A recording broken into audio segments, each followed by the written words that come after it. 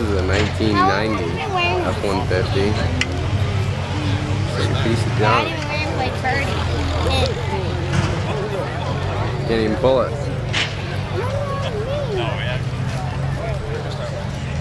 How did you even get it on?